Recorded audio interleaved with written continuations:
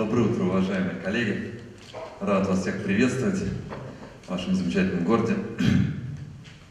Спасибо организаторам, что дали мне возможность сегодня выступить первым, потому что конференция, к которой вы сегодня пришли, она будет вся так или иначе посвящена управлению продажами, взаимоотношения с клиентами. Очень интересные темы, и все они, вот все, что будет после меня, они как-то будут дополнять или дополнять новыми цветами то, что я сейчас вам расскажу. Я попытаюсь изложить вам свою точку зрения на sales management как некую законченную управленческую концепцию. Но очень важный момент. Хотел бы во второй части своего выступления рассказать свою точку зрения о эволюции sales management, о трех этапах sales management. И каждый из вас для себя решит, на каком этапе он находится. При этом я сразу хочу сказать, я не противоставляю один этап другому. Главное, чтобы на каждом этапе вы вели себя адекватно этому этапу. Ну, давайте об этом, собственно, и поговорим. Куда кликать? Клик-клик. Ребята, сейчас, наверное, все получится. Поможете? А, дальше оно не идет. Сейчас там все исправят. Или, может, я что-то делаю не так. Порядок? О, ну что ж, вы же все-таки культурная столица, я себе позволил некую такую историческую реминесценцию. Если кто хорошо учился в школе, интересовался историей, а может быть потом интересовался историей, историей древнего мира, был такой знаменитый римский сенатор, три тысячи, две с половиной тысячи, более двух тысяч лет назад, Катон старший. И он каждое выступление в Римском Сенате. Неважно, про что это было выступление, про ЖКХ, про проблемы гладиаторов, кетер, войны, что угодно. Он начинал свое выступление вот с этой замечательной фразы, вошедшей в учебник истории «Карфаген должен быть разрушен». И в конце концов, за три войны, видите, опять магическая цифра три, три этапа селс-менеджмента, три пунических войны, Карфаген, римляне разрушили, стали гегемонами, стали огромной империей и так далее. Я решил похулиганить немножечко и тоже так выступлю в стиле сенатора Катон. Система продаж должна быть построена. Рано или поздно вы ее построите. Ключевой момент рано или поздно, и об этих этапах сегодня опять я же к ним вернусь. И система продаж вообще голубая мечта любых консультантов. Вот я специально на этом слайде показал такие рекламные объявления очень знаменитых, известных бизнес-консультантов, чтобы мне было обидно, я и себя присовокупил. И ничего плохого в этом нет, это вправду, месседж к вам, система продаж должна быть построена, она даст вам прекрасные результаты, но периодически что-то идет не так. И еще один такой исторический момент, я бы хотел привести цитату очень известного в Америке человека, для того, чтобы его представить, вспомните 90-е годы в России. Был у нас такой премьер-министр Виктор Степанович Черномырдин. Ну, кто постарше помнит, он славился своими парадоксальными высказываниями. Так вот, в Америке тоже есть такой, был, вернее, он несколько лет назад ушел из жизни человек, его звали Йоги Бера, он знаменитый спортсмен, менеджер, тренер бейсбольный знаменитого клуба Нью-Йорк Янкис. И вот его замечательная фраза, вошедшая во многие-многие-многие источники. В теории, практики, в теории между теорией и практикой нет никакого различия. А на практике различия почему-то есть. И вот об этом сегодня, о различиях я тоже хочу поговорить. И тем не менее, вот перед началом уже такого по делу разговора, почему вдруг я привел цитату бейсбольного тренера? У нас, к сожалению, этот вид спорта не очень популярен в стране. Но если кто-то его когда-нибудь видел, вид спорта очень стратегически, тактически сложный. Там всякие есть комбинации, как выстраивается последовательность игроков. Это, вы понимаете, некая аналогия с маркетингом, но в самый ключевой момент игры, в самый ключевой момент игры остаются два человека. Бросающий и отбивающий. Продавец и покупатель. И вот что бы мы ни делали, какие бы мы маркетинговые решения не принимали, какие бы стратегии мы не строили, как бы нам не помогали технологии, они нам реально помогают, в самый ключевой момент остается продавец и покупатель. И будет сделка или не будет сделка. Более того, даже e-commerce сегодня идет в эту сторону. Наступает в e-commerce эра O2O, офлайн to онлайн и обратно. Даже там придется или приходится уже сегодня выстраивать эти личные отношения, не только сайты общаются между собой. Итак, остается продавец и покупатель. Вот как управлять этим процессом. Ну что ж, друзья мои, когда мы говорим система продаж, что это такое? Система продаж, в моей, с моей точки зрения, это некая логика, некая последовательность принятия управленческих решений. Я думаю, что большинство сегодня сидящих в зале это управленцы разного уровня. Владельцы, генеральные директора, коммерческие директора, руководители отдела продаж, супервайзеры и так далее. Те из вас, кто менеджер по продажам, ну, вас ждет эта карьера, никуда она от вас не денется. Итак, система продаж, последовательность управленческих решений. Давайте я его прокомментирую, то, что на этом слайде. Начну комментарий с черных плашек. Какие решения первые? Вот эти черные плашки, они там в странном порядке, это некий старт управленческих решений. План-контроль, некая связка планирования и контроля. Что такое планирование? Что оно должно в себя включать? Там вот дальше слева видно, какие KRI KPI существуют, какие показатели результата, какие показатели перформанса. Поговорим об этом сегодня. Но то, что мы планируем, мы должны контролировать, поэтому связка план-контроль, иногда это называют вертикаль власти, очень важный элемент управления. Следующая плашка – это бизнес-процессы, последовательность взаимодействия наших сотрудников с клиентами, наших сотрудников между собой. Чем больше ваш бизнес, тем больше ролей, больше внутренних взаимодействий между людьми, отвечающих за клиентов, между людьми, отвечающих за клиентов и внутренними смежными подразделениями и так далее. Организационная структура. Люди в конце концов работают не в шайке, не в банде. Они работают в определенной иерархии. Они работают с определенной специализацией. Рано или поздно специализация наступает. Поэтому организационная структура очень важный момент любых управленческих решений. Вот здесь наступает первая странность моего изложения. Продажи, я говорил, продавец-покупатель, это значит взаимоотношения, коммуникация людей между собой. А в первых управленческих решениях, которые я сейчас рассказал, людей нет. Есть какие-то планы, есть какие-то процессы, есть какая-то структура, где люди. Вот моя точка зрения, что решения о людях, стандартные, классические, всем важные, нужные в бизнесе решения, такие как набор, в любом городе страны плач стоит, где же взять продавцов. В метро не проехать, а на улицах не проехать, а продавцов нет. Это отдельный бизнес-процесс, о нем тоже сегодня поговорим набор людей, обучение людей, если не уделю особое эмоциональное внимание обучению. У меня есть что на эту тему сказать, такого накипевшего. Ну, соответственно, мотивация вообще вершина любого управления, мотивация, как сделать так, чтобы люди стремились достигать наших планов и так далее. Вот эти решения, набор, подготовка, обучение, мотивация, они идут второй волной. Не второстепенно, а второй волной после организационных решений по процессам, про планы, контроль и структуры. Вот моя такая твердая точка зрения, что это более эффективный подход к управлению, чем то, что обычно в жизни происходит. Мы сначала набираем людей, потом ломаем голову, как бы их вообще правильно использовать. Слушай, у тебя не очень получается с клиентами, ты их побаиваешься, давайте перейдем в клиентский сервис, но ты не очень стрессоустойчивый, ты на них гавкаешь, ой, что, давайте в маркетинг перейдем и так далее, и так далее. Бесконечная история. Мне кажется, это неэффективно. Ну и, соответственно, мы живем в современном мире, поэтому, как в фильме Люка Бессона «Пятый элемент», автоматизация.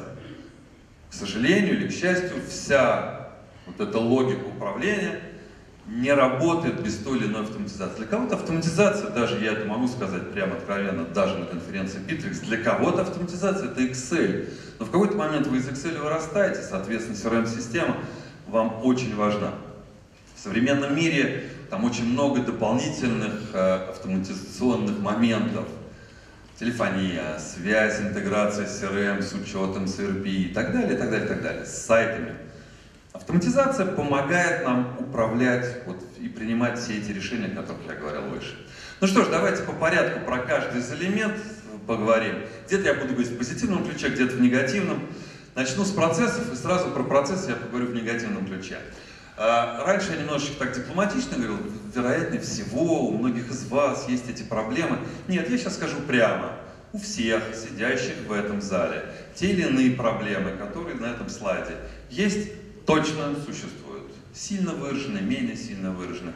Более того, процессных проблем этот список далеко не полный.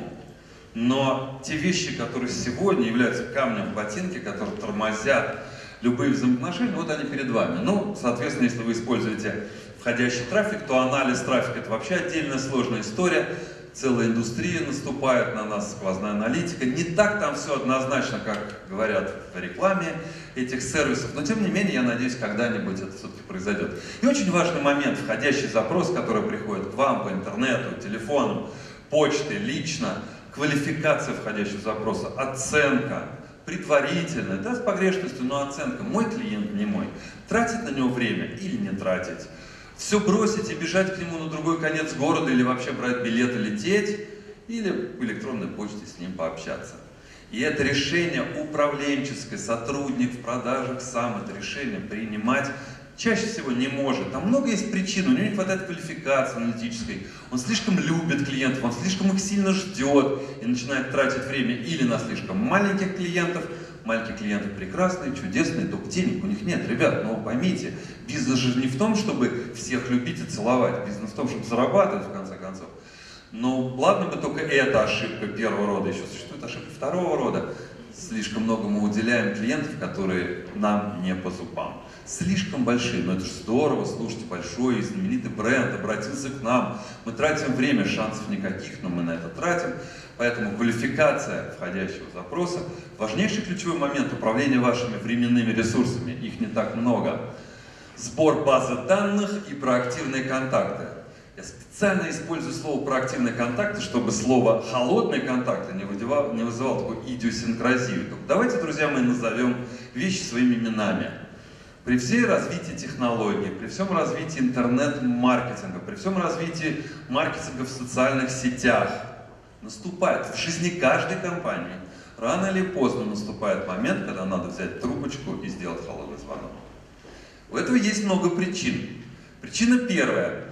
Э, несколько недель назад в Москве выступал знаменитый шведский бизнес-мыслитель, спикер, автор, консультант Кьол Норстрем. Он сказал очень такую болезненную, но жизненную фразу. Друзья, все, что можно оцифровать, будет оцифровано, все, что будет оцифровано, будет скопировано, все, что будет оцифровано, все обесценится. Поэтому любые наши подвиги в интернет-маркетинге, в оцифрованном мире, в итоге копируются, в итоге стоимость клика у всех становится одинаково высокой и одинаково плохая экономика всего этого дела. В какой-то момент придется взять трубочку и этот холодный звоночек сделать.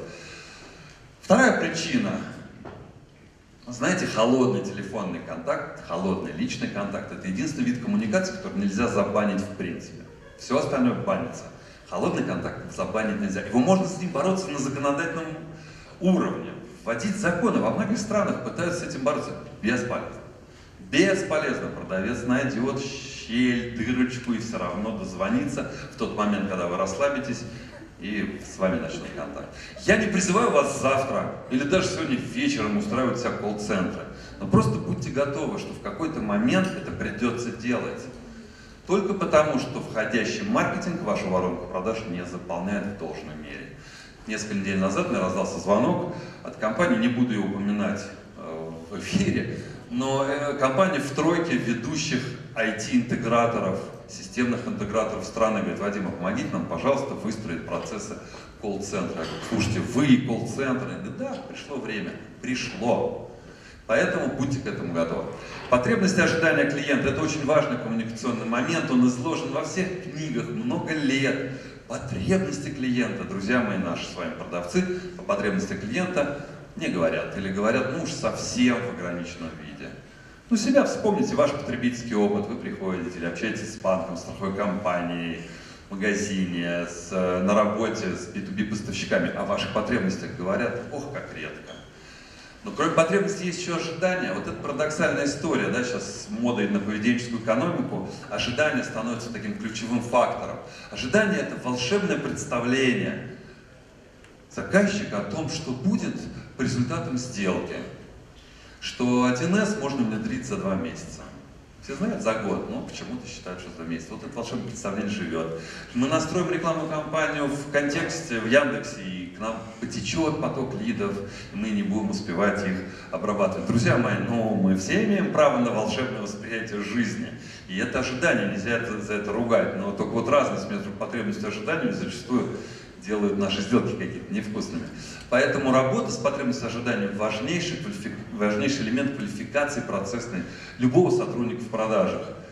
Я дальше вернусь к этому тезису на обучении. Друзья мои, а почему наши люди плохо работают с потребностями и ожиданиями? А потому что мы их не учим. Ну, откуда человек научится и поймет, какие потребности ожидания есть у клиента? Пока мы не научим, мы, руководители, ничего не произойдет. Удовлетворенность клиента и кросс-продажи. Друзья мои, мы все хотим повторных продаж, мы все хотим кросс-продаж, change sale а, up sale а, cross sale а. Но дверца в эти замечательные термины и процессы лежит в том, что клиент удовлетворен первой сделкой. А мы не знаем, доволен он или нет. Наши сотрудники об этом не разговаривают. Зачастую это пытаются хоть как-то реализовать маркетологи, и специалисты клиентского сервиса, измеряя NPS и прочие замечательные показатели. Это очень хорошо, это здорово, но я говорю об оценке удовлетворенности, опять же, как в бейсболе face-to-face. Я продавал, вы покупали. Дорогой, ты доволен моей услугой, моим продуктом? Да, недоволен, ожидание удовлетворен? Давай поговорим. Поговорим, значит, дверца в следующее отношение открывается. Этот, к сожалению, процессный момент вообще не реализован на сегодняшний момент. Повторюсь, список не полный. Что с этим делать? Плакать? Нет. Друзья мои, дорогие руководители, мы с вами, как руководители, должны думать об этом, формализовывать эти процессы, формировать регламенты инструкции. Неважно в каком виде, в комиксном, в текстовом, в автоматизированном виде. И доносить эти требования, эти знания, эти процессы до наших сотрудников, требовать понимания, требовать умения и следить за тем, чтобы потом это реализовывалось. Нет, на мой взгляд, другого выбора нет. Вы выстроили процессы. Следующее ваше решение, оно относится к плану. Что есть плановые показатели? Что есть план продаж? Я больше чем уверен, что если я бы сейчас спросил, я не буду вас сейчас спрашивать, потому что в свете софита все равно не видно ваших поднятых рук, не принципиально.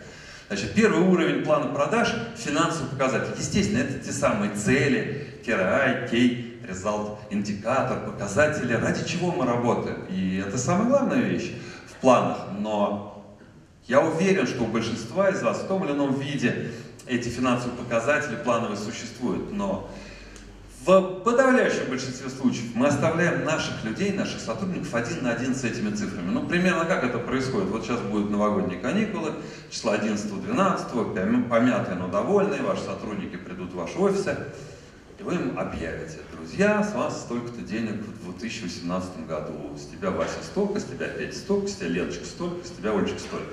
И вот они одни на один остаются с этими цифрами, что делать? Они в растерянности. Как говорят теоретики менеджмента, давайте покажем пути достижения цели. Вот эти пути достижения цели – это следующий, вложенный в эту плановую матрешку, показатель. Следующий показатель важнейший он недаром во множественном числе, сейчас поясню почему, воронки продаж. Вот потом вы пойдете и в перерывах там попробуйте эту пенопластовую вороночку собирать. В моем, я даю такое определение, воронка воронки продаж – это запланированное вами, запланированное вами.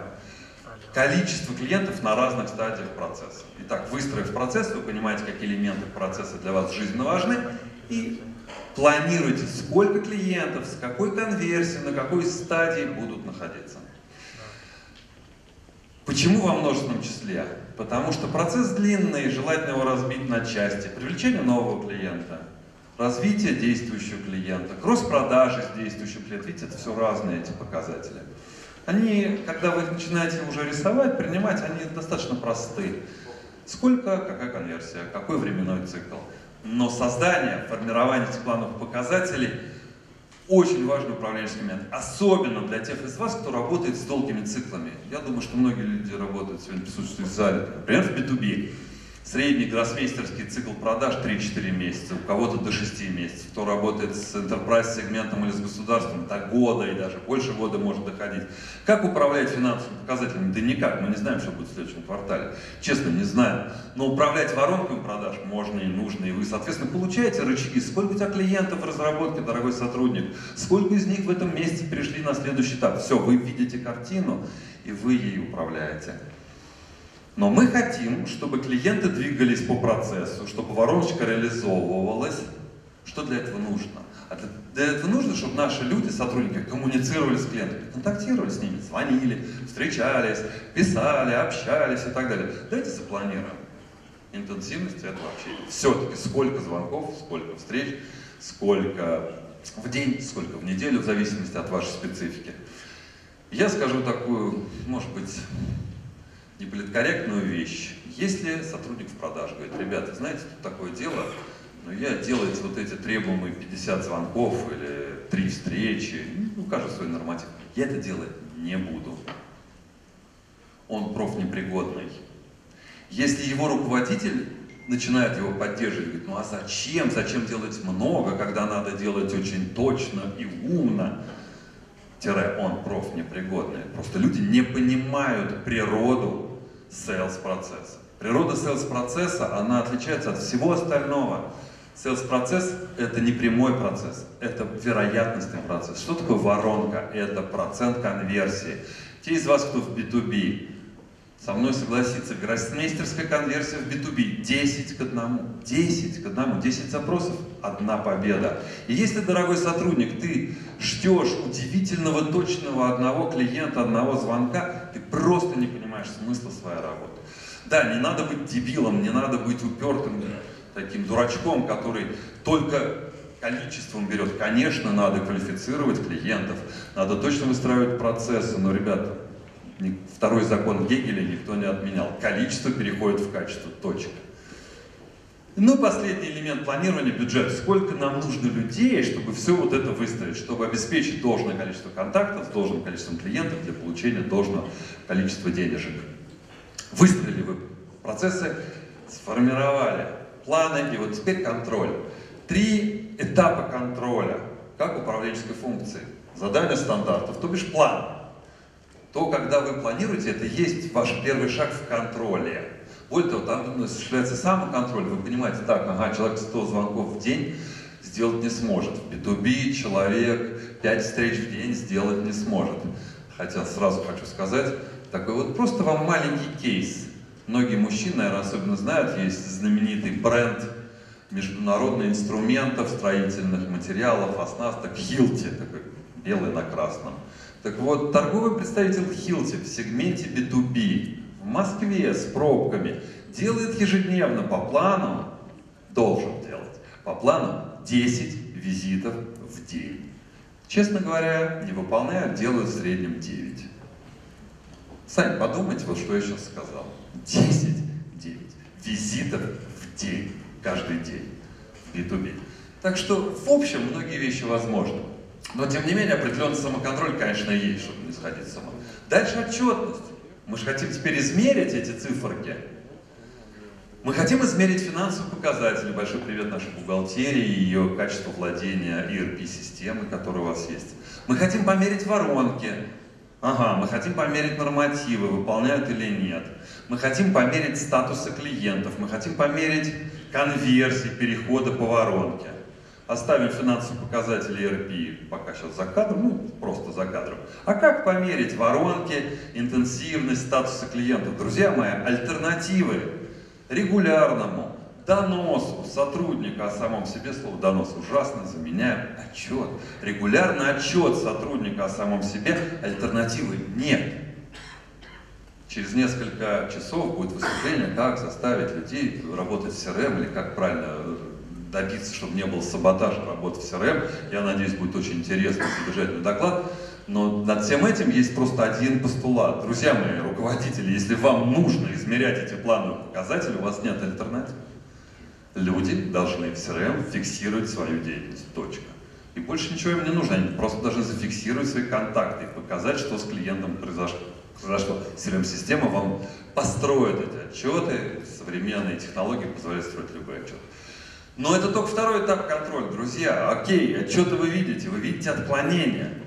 Знаете, когда во всяких статьях, учебниках, пособиях написано вот про воронки, про отчеты, всегда же показана позитивная зона, в крайнем случае негативная зона, да, красная, зеленая. В реальной жизни это все сложнее. Какой-то показатель выполняется, какой-то показатель не выполняется, какой-то показатель перевыполняется. Черт что. Соответственно, друзья мои, решение мы, как пилоты самолета, должны, глядя на все эти отчеты, на все эти показатели, на все эти стрелочки, принимать решения. Что делать? Какие решения в нашей палитре возможны? Здесь тоже не полный список, но очень, скажем так, самые распространенные решения.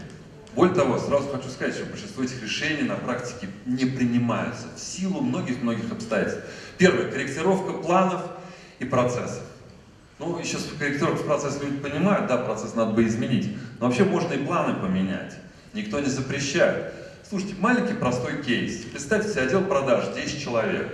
Никто из 10 ни планы по продажам, ни планы по воронкам, ни нормативы не выполняет. Никто. Вы, руководитель, смотрите на все это безобразие. Более того, весь ваш опыт говорит о том, вот представьте, вы пришли в эту компанию на должность коммерческого директора, ну, с какой-нибудь крупной западной компании, вы знаете, что это все выполнимо. Но сегодня и сейчас никто из 10 не выполняет. Никакие ваши прокламации, никакие ваши речи мотивационные, никакие ваши наказания не переубедят людей, что планы реалистичны. Никакие. Почему? Потому что эти люди пойдут в курилку и в курилке будут говорить, слушайте, ну ты выполняешь нет, ты выполняешь нет. Значит, они завышены. Значит, у вас нет другого варианта, как на время эти планы показатели снизить. Первый стал выполнять, нашелся штрейкбрехер, второй, третий. 5 из 10 выполняют, вы начинаете плавно поднимать. И вот эта манипуляция, в самом хорошем смысле слова манипуляция, это и есть ваше управленческое решение. Нет альтернативы, но очень часто мы боимся это делать. А теперь другая ситуация. Из 10 человек 9 перевыполняют план. Можно было бы сейчас взять и провести такой эксперимент, попросить проголосовать. Вот кто за то, чтобы всем планы поднять? половина зала подняла руку, а половина зала сказала, нет, ни в коем случае, привело бы список аргументов, почему этого нельзя делать. Друзья мои, это спортивный принцип. Если люди могут, и у людей получается, мы как руководители должны поднять их вверх.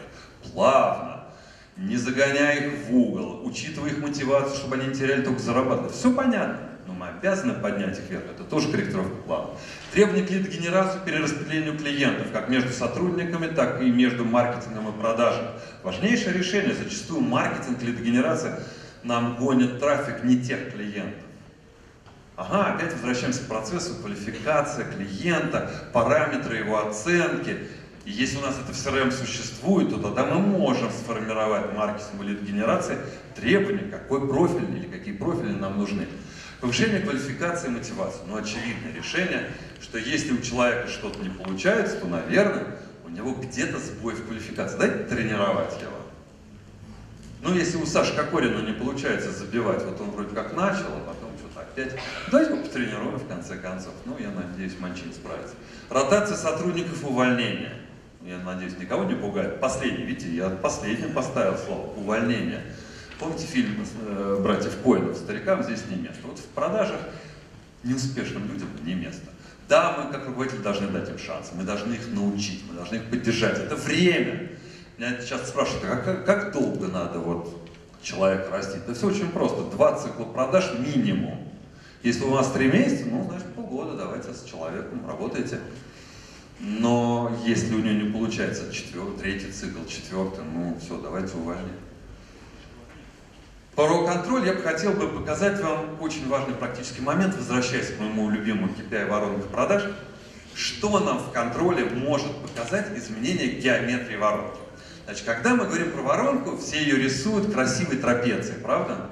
Все так ровненько, убывает. В реальной жизни, когда вы начинаете измерять, эта геометрия меняется. И вот я таких три классических случая изменения этой геометрии вам сейчас представлю. Слева воронка превратилась в гвоздик ну, такая большая шляпка, очень много запросов.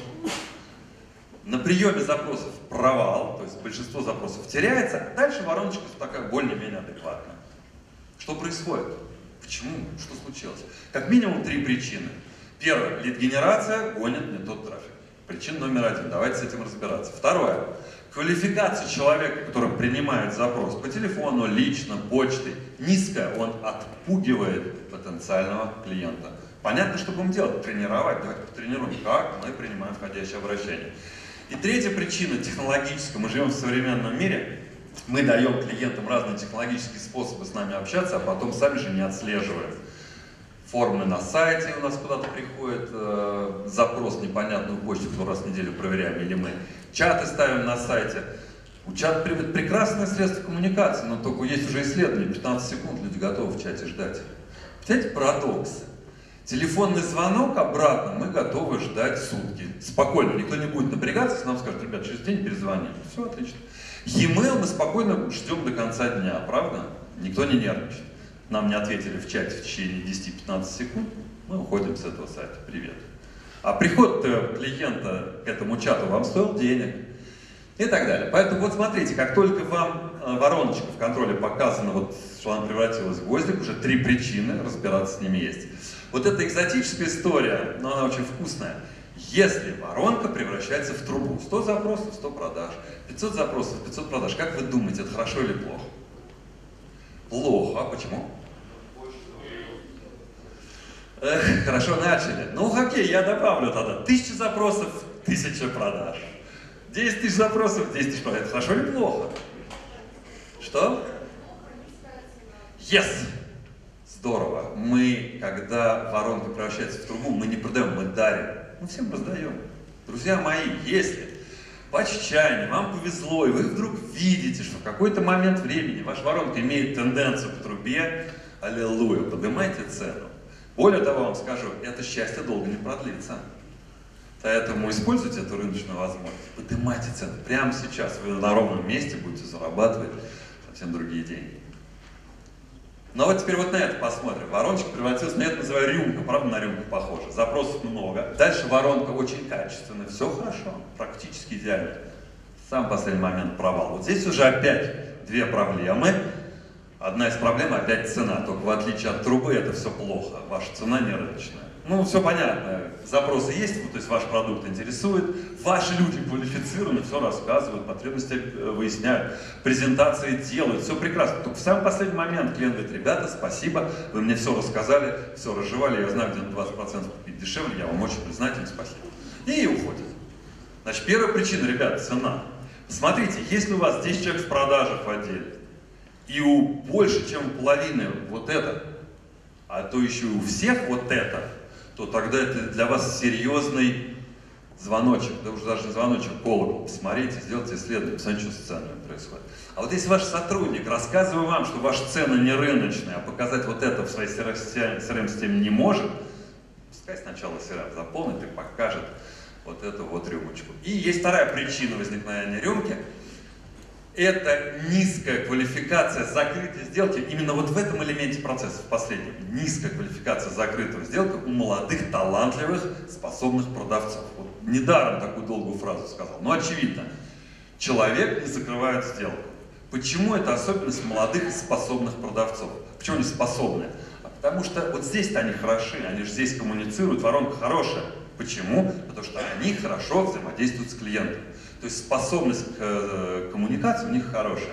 Ну вот здесь им немножечко не хватает квалификации. Почему они молодые? Пока они молодые, они получают кайф вот здесь.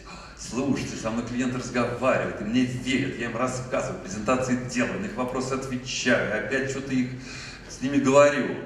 Когда они становятся чуть постарше, они понимают, что пришло время сделать что-то закрыть. Достаточно легко тренируется этот навык закрытия сделки, Почему легко? А потому что они способны. Видите, круг замкнулся. Поэтому если рюмка, вот две причины. Вы сняете цену и тестируете вашего сотрудника, экзаменуете сотрудника, например, умение закрывать сделки. Слово «увольнение» прозвучало несколько минут назад. Чтобы спокойно уволить неуспешного, надо бы набрать новых. Это большая проблема. Не буду сейчас вам долго рассказывать много всяких аспектов. Я вам покажу самый главный аспект позитивного, успешного набора людей. Никакого вроде как секрета нет, но этот секрет опять слово воронка. Вот это слово, оно волшебное в продажах. Оно очень многие вещи объясняет. Воронка на отборе. на наборе, отборе. Набор – это создание потока желающих у вас работать, то есть много-много резюме. Отбор – это какой-то выбор по профилям. Значит, выглядит эта вороночка следующим образом. Вы хотите, я снизу начну комментировать, вы хотите одного классного продавца, хорошего, квалифицированного. Это примерно 5 стажеров, не обязательно прямо сейчас во времени, ну, может быть, растянуто в течение какого-то периода. 5 стажеров. Из этой пятерки вы двоих точно уволите, один-два будут середнячками, один будет хороший. Если у вас телемаркетинг, там примерно чуть лучше может быть, то есть звонят люди, выживает один из трех. Поэтому, когда вы, например, решаетесь, все, мы хотим сделать колл-центр, мы будем делать проактивные звонки, одного не надо брать, надо минимум взять троих, а лучше пятерых. Из этой пятерки, тройки, вот один выживет. Но для того, чтобы вы получили пять финалистов, вам придется провести первичное собеседование с 20-25 людьми. Московская статистика, не знаю, как в Питере, хотя, думаю, примерно так же, чтобы пригласить 25 людей, пригласить надо 50. Чтобы, вернее, провести 25 собеседований, надо пригласить 50. Половина не придет, не объясняя причин. И на многих hr конференциях вот любят пообсуждать, почему они не приходят, а что, не воспитаны? Ребята, зачем на эту тему голову ломать? Да не приходят. Два раза больше приглашайте их. А для того, чтобы пригласить 50, надо посмотреть 100 резюме физически на HeadHunter, в Суперджобе, где-то там еще, в ярмарке вакансий, да где хотите. Э, поделюсь э, недавним наблюдением. Я был вообще скептиком, но одни мои знакомые коллеги в Москве, они сделали проект по групповому набору по заказу. То есть они собирают прям группу 50 человек, ну там 40-50 человек, и заказчик может за эти полтора часа группового ассессмента какие-то презентации, деловые игры, прям выбрать себе 5-7 человек, 8 человек, ну сколько угодно человек уже на окончательный собеседование. Я был, честно говоря, поражен, что эта механика заработала. То есть она сильно, конечно, упрощает дело, но она как раз подтверждает э, значимость и цены именно этой воронки. Друзья мои, хороший продажник – это работа старателя, который золотые вот эти слитки ищет, моет, выливает, ищет, выливает. Ну, как у Джека Лондона, наверное, читали и смотрели. Альтернативы особой нет, к сожалению. Подготовка. Я обещал в самом начале, что такую эмоциональную оценку скажу. Друзья мои, к большому сожалению, распространена такая точка зрения у многих руководителей компаний, продаж. Мы крутая компания, мы серьезная компания, мы набираем сверхпрофессиональных людей, они все умеют, все знают, мы их замотивируем, и они пойдут к результату. Ну, друзья мои, наверное, Google, Facebook, Альфа-банк, Сбербанк может так себе позволить. Но, честно говоря, большинство бизнесов, ребят, мы не такие, мы обычные компании. Чего вдруг к нам ни с того ни с сего пойдут какие-то гениальные гении, супер успешные, мы обычные. Давайте будет при этом быть адекватными. А к чему я это все клоню? Значит, если мы с вами, как руководители, не научим людей продуктам, процессам, коммуникациям, CRM-системе. Да никто не научит, научат подворотнейшие улицы. Ну, собственно, вот у нас все такие уличные гопники в основном-то и работают. Гопники в кавычках, понимаете, да? Люди, которые не умеют контактировать с клиентами, которые не знают CRM-систем и так далее, и так далее. Поэтому, на мой взгляд, это наша миссия – учить, готовить людей. А, иногда прям смотрю на таких хороших друзей-бизнесменов, вот они сидят в своих кабинетах, иногда ушки так на макушке, слушают, что происходит в продаже. В какой-то момент они взрываются, забегают в один продажу. Как ты мог такую хрень нести клиенту по телефону? А менеджер правда нес хрень, чего уж греха таить. Но только подожди, дорогой руководитель, а ты его научил? Сколько часов ты с ним занимался? Когда у тебя последний раз был экзамен, он умеет или не умеет? Ну как ты ему доверил вообще вести машину своего бизнеса, не уча его водить, парковаться, сигналить там, и так далее? Друзья мои, ну, может быть, я сейчас немножко так эмоционально делаю такой акцент, уж совсем большой, но тем не менее, ну, это очевидный факт. Что есть подготовка? Значит, если мы хотим учить наших людей, то должен появиться какой-то документ, описывающий наши процессы, продукты, CRM-систему. Давайте назовем документ стандартом продаж, книга продаж, да как хотите назовите. Внутренний инструктор, кто учит? Вот мое твердое убеждение, львиная доля обучения должна быть внутри компании. При всем уважении к моим коллегам, бизнес-тренерам, бизнес-тренер, консультант, он в этой ситуации может прийти один-два раза в год, ну, горизонты расширить, помочь найти какие-то новые точки развития. Но базовые знания и базовые навыки надо тренировать регулярно. Каждый ну, день, наверное, правда нет сил, но хотя бы раз в неделю, по часу, как кроссфит в фитнес-зале. Ну, если это делать раз в неделю, никаких денег не хватит. Соответственно, делать это внутри. В компании средней большой было бы здорово, чтобы была роль внутренний инструктор, который умеет, я не специально говорю тренер, инструктор, чем отличается инструктор от тренера? Инструктор может выйти показать сам. Да? Делай как я. И если что, я даже что с клиентом могу показать, как это сделать. Но один раз не все время сделать один раз. Поэтому вот эта роль внутреннего инструктора, на мой взгляд, очень важна. Более того, внутренний инструктор – это прекрасное карьерное развитие для опытных, успешных продавцов, но которые уже перегорели. Представляете, там 10-15 лет в одной компании, но зато они все знают. Из них получается внутренний инструктор шикарный. В малом бизнесе что делать? Ребята, большой привет руководителям продаж малого бизнеса, а совсем малый бизнес, то генеральному директору, он же владелец дорогой владелец, вот ты учи своих людей. Ну как же так, я пойду на рынке, найду квалифицированных. Повторяю, ты малый бизнес, какие у тебя шансы найти на рынке, чтобы они к тебе пришли, еще не на самую большую зарплату, самые талантливые, самые успешные. Ну, ребят, ну это же неадекватно, на мой взгляд. Любое обучение заканчивается экзаменом. Настоятельная рекомендация, хотя бы два раза в год. Проверьте, ваши люди знают продукты ваши. Сделайте завтра эксперимент. Позовите по одному, там, вот шайка не надо, ваших сотрудников в продажах. Три минуты представления основного продукта. Я вас уверяю, большинство из вас расстроится. Потому что квалификация лежать лучше. Ну, вишенка на торте, мотивация. Самое вкусное управленческое решение. Как же нам теперь создать условия, при которых люди изо всех сил будут стремиться достигать наших целей. Вот я сейчас сформулировал определение управленческой мотивации из учебника менеджмента Мескана. Ребят, мотивация это не сделать людей успешнее, лучше, красивее, выше строения. Нет. Мотивация это создание условий, когда люди достигают наших целей. Поэтому связь мотивации с планом и, соответственно, с контролем здесь становится просто очевидно. Есть материальное вознаграждение нашей управленческой мотивации, раздел управленческой мотивации. Почему я выделил голубым цветом? Друзья мои, очень часто сейчас на конференциях всевозможных hr и прочих слышу мантры. Ой, как бы мотивировать людей без денег? Как бы материальная мотивация не работает? Друзья мои, внимание! Люди в продаже приходят за деньгами. Это основа мироздания. Если человек в продаже пришел не за деньгами, он пришел не туда. Вот давайте не пытаться изменить ДНК, эволюцию, биологию.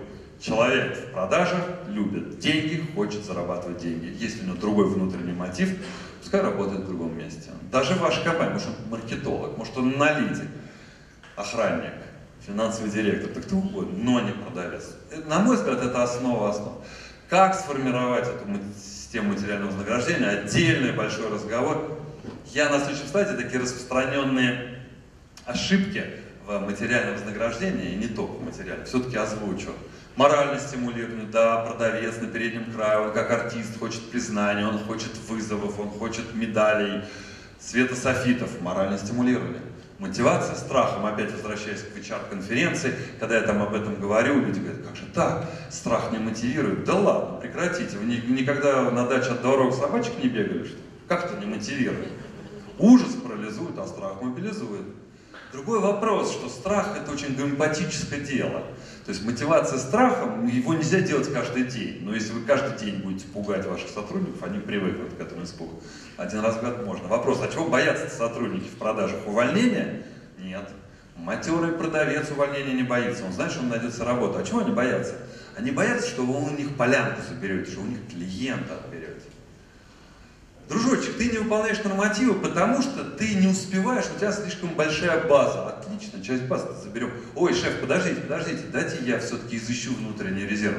Знаете, в половине случаев изыскивают почему-то, находят время на всех и так далее. То же самое касается мотивации вовлечения. Залезть на броневичок и толкнуть такую замечательную, воодушевляющую речь. Э, самая лучшая речь в кинематографе, воодушевляющая, она не про продажи, она про спорт.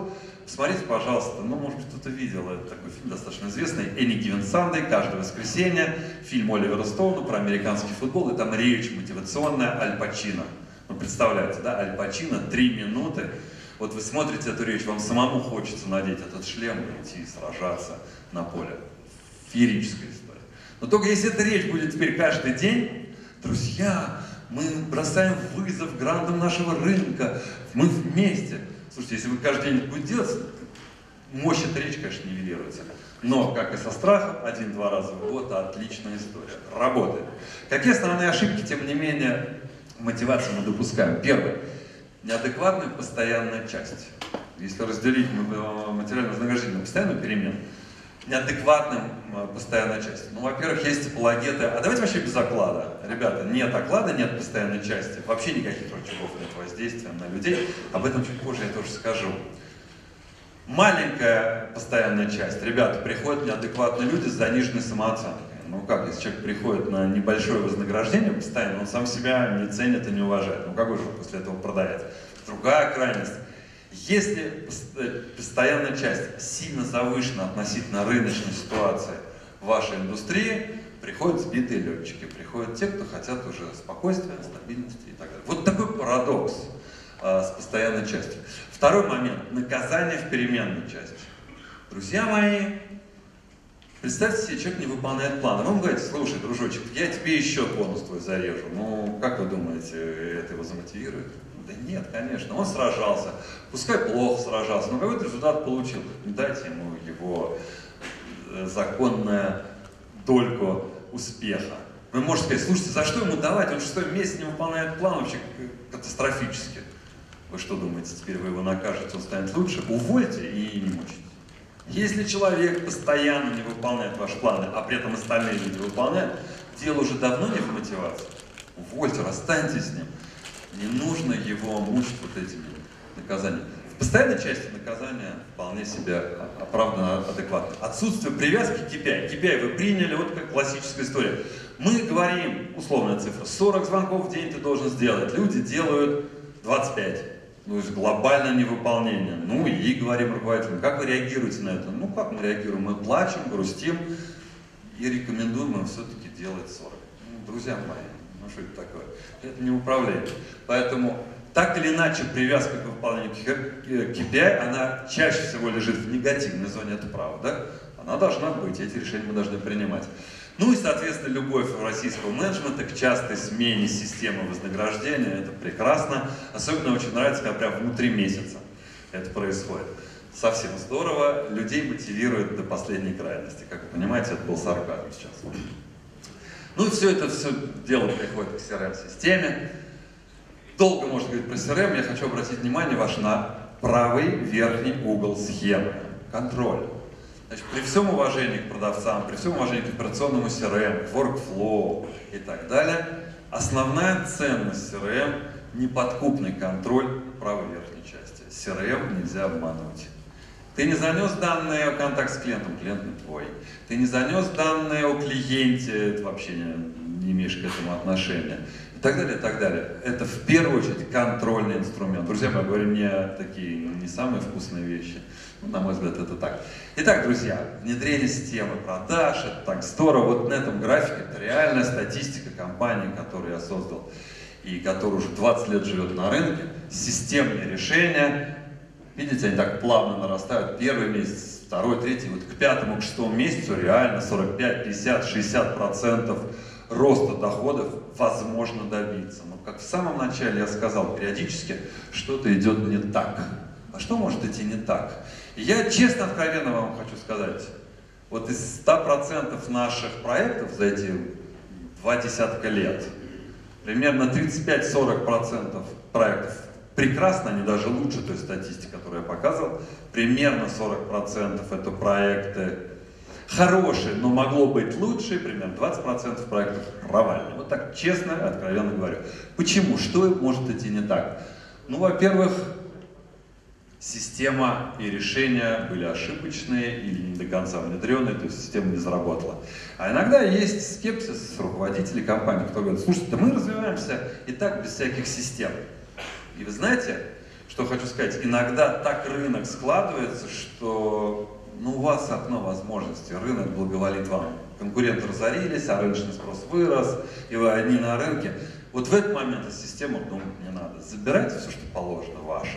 То есть одновременно забирать вот этот супер рыночный рост и внедрять систему, вы не справитесь. Это очень тяжело, эмоционально, морально, физически и так далее. Поэтому дождитесь какой-то стагнации, тогда начинаете э, заниматься системой. Другая есть крайность, когда компания совсем в кризисе, то строить систему продаж тоже, на мой взгляд, неправильно, надо заниматься антикризисным управлением, жестко резать косты, менять команды, не до системы. То есть система продаж это все-таки некий такой плавный рост и стагнация. Для того, чтобы, поставшись у меня вот 10 минут, чуть-чуть меньше, как раз идем по плану, показать вам, что а как система продаж применяется. Я бы хотел напомнить для любителей теоретического менеджмента, очень с большим уважением отношусь к Акватизису, да, и те из вас, кто читал его книги, знают да, его эту концепцию цикла развития компании, он сравнивает компанию с ребенком. Вот как ребенок растет, такие адекватные управленческие инструменты должны на каждой стадии его роста применяться. То есть, что вы применяете для третьеклассника, не надо применять с студентом университета и, и наоборот. Но не буду себя сравнивать с Адзисом ни в коем случае. У него большой цикл, и вообще он крутой. Но в продажах мой опыт позволяет, ну, по крайней мере, сделать акцент на трех этапах развития sales management. Первый этап – это стартап-подход. То есть любой стартап, новая компания, новый проект внутри компании, новое направление внутри компании, всегда стартап. У него свои принципы, сейчас я об этом скажу. Второй э, этап развития sales management, вы знаете, парадокс в том, что он максимально распространен, но никто этого не признает. И это называют предпринимательский подход. Если сказать это бытовым языком, руководители компании не говорят об этом вслух, но думают примерно так. Я обеспечил наличие товаров на складе. Я обеспечил, что мы можем предоставлять услуги, у нас есть для этого производственные ресурсы. Я обеспечил финансовую поддержку, я обеспечил маркетинговую поддержку, я обеспечил юридическую крышу, говоря языком 90-х, и вообще офис, электричество, интернет. Дорогие продавцы, вот я вам все это обеспечил, а вы как бизнесмен, как предприниматель, бегите, зарабатывайте, приносите этот заработанный результат. Часть результата ваша. И кто-то бежит, но почему-то большинство не бегут. Вот парадокс-то в чем? Бизнесмен ждет подвига от людей. Более того, система мотивации позволяет реально много зарабатывать, но люди почему-то не бегут. А те, кто бежит, кто этот результат показывает, почему-то через два года встает и уходит делать свой бизнес. Но в этом парадигме этого подхода живут очень многие. Я думаю, даже те, кто сегодня присутствует в этом зале, тоже так внутри себя думают. Ну, ребят, ну я же вам все дал, бегите. И на этом этапе в нем тоже можно и нужно спокойно жить, но только из системы продаж на этом этапе надо взять определенные элементы, не загружать предпринимательский подход всей массивной логикой системности. И третий этап – это тот самый системный подход, о котором я говорил. Значит, что делает на этапе стартапа? Друзья мои, система здесь вредна. Энтузиазм круче любой системы. Год, полтора, два, но вот мне кажется, что стартап сегодня до двух лет энтузиазм основателя. И в тот момент, когда основатель или основатель говорит, давайте мы сейчас будем строить отдел продаж, ребят, не надо, сами, вы сами, давайте. Никто лучше вас этого не сделает, никто лучше вас ваш новый продукт не знает, никто лучше вас обратную связь от клиента не услышит. Вы сами. Давайте. Успеете построить подразделение. Предпринимательский подход, вот тот самый и очень распространенный. Мне кажется, из систем продаж надо выделить следующие вещи.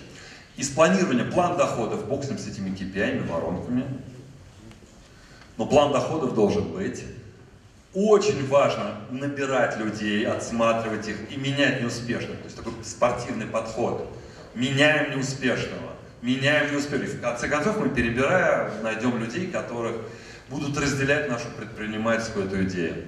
Обучение продукту обязательно, продукту никто не научит, кроме вас мотивация святое, просто ее кольте или лейте. Конечно, ее нужно считать экономически, чтобы вы случайно ну, не переплачивали, не загоняли себя в убытки. Но это основа основ. ERP-система для учета доходов, если вы как доходы говорите как план, то правильный управленческий учет – основа всего. В CRM-системе, CRM здесь нужна, но с точки зрения данных о клиенте. Это ваш информационный актив. Выполняют они норматив по контактам, уже не важно, предпринимательский подход, не ты, так другой. Поэтому есть вот эта вот связочка да, на клиенте, знание продукта, набор и мотивация будет, то предпринимательский подход вполне себе успешный. И в нем можно жить. Но в тот момент, когда вы хотите перейти уже на третий подход, вы должны задать себе один вопрос. И вот он самый главный. Вы готовы к этому переходу? Этот переход болезненный. В чем болезненность там? Первое. Текущая ситуация, которая есть сегодня. Я уже говорил об этом, что если вдруг вам благоволит рынок, не надо. Сейчас, вот конкретно сейчас этим заниматься, забирайте сливки с рынка. Если наоборот вы в кризис, тоже не надо. Антикризисное управление, зачистка костов, э, переформатирование бизнеса, все возможно, но сейчас не до системы продаж. Политическая воля, по-хорошему вот этот слоган надо было написать огромными буквами на весь слайд. Любые изменения, и это всегда политическая воля руководителя. Ну, такая вот авторитарная история. Я не верю в agile, хотя сегодня будет даже доклад про agile, с удовольствием приду послушаю, может быть, я чего-то не знаю. Но, честно говоря, все, что я видел за эти годы, любой успех изменений – это политическая воля команды топов, команды руководителя, а чаще всего вообще одного человека. Ресурсы и команда. На все изменения нужно время, деньги, силы, нервы и так далее. И последний пункт, он звучит абсолютно не по-менеджерски, правда? Это управленческое терпение. Знаете, парадокс в чем? Что люди, которые наделены политической волей, полномочием, властью, чаще всего они обладают быстрым мышлением. Ага, мы уже мы начали что-то внедрять, получается, ура, здорово, давайте следующую инновацию. Все, я уже ее придумал. Люди, которые идут в арьегарде, они так быстро не меняются. Есть известный цикл изменений. Примерно 100 дней человек адаптируется к одному конкретному изменению. 100 дней, квартал. И то при условии, что его обучают, следят за ним там, и так далее, и так далее. Поэтому, друзья мои, дорогие руководители, сдерживайте себя, свой вот этот порыв инновационный. Он, к сожалению, до добра не доведет. Ну и, соответственно, в какой-то момент вы выстроили систему, год, два, три, ее его эксплуатируете, получаете результат, и здесь я скажу вещь, которая будет как противоречит всему тому, что я говорил. Но это не противоречие. Понимаете, парадокс в том, система против хаоса. Если вы выстраиваете систему, все зарегулировано, все только по системе, к сожалению, из компании уходит жизнь. Ну, если есть фанаты саги о «Звездные войны», там помнят, да, джедаи, это вот эти вот такие волшебные рыцари, у которых избыточное содержание в крови каких странных частиц медиазарядов. То есть это частицы жизни. Парадокс в том, что когда все зарегулировано, все слишком системно, жизнь начинает уходить. Здоровая доля хаоса должна быть. Ну, что такое хаос в бизнесе? Здоровая доля креатива. Я думаю, что старик Паретто был прав, 80 на 20. 80% система, 20% хаоса. А в продажах, в клиентских отношениях, что будет хаосом? Креативом, творчеством. Я считаю, что плавно наступает, медленно, но неотвратимо наступает эпоха Customer Journey, путешествие клиента. Это отдельная, интереснейшая тема. А давайте посмотрим на бизнес глазами клиента. А как он идет к сделкам? Как мы можем построить наши процессы по отношению к этим этапам? В моей концепции Customer Journey аж 12 этапов. С первого по что это первая сделка, с 7 по 12 к повторным сделкам и к рекомендациям. Очень интересная тема. Поэтому вот креатив, на мой взгляд, будет вот в этой зоне. При этом есть одно очень важное обстоятельство. Почему именно Customer Journey? Потому что развитие сегодня системы автоматизации IT позволяет вот этот трекинг, эту историю взаимодействия, история путешествия клиента реально вести, причем как онлайн и офлайн. И тогда наши все эти идеи становятся реально проверяемыми. Это очень такая интересная, прекрасная тема. Я уложился, по-моему, да? Я молодец. Спасибо, друзья. Я надеюсь, вам было интересно.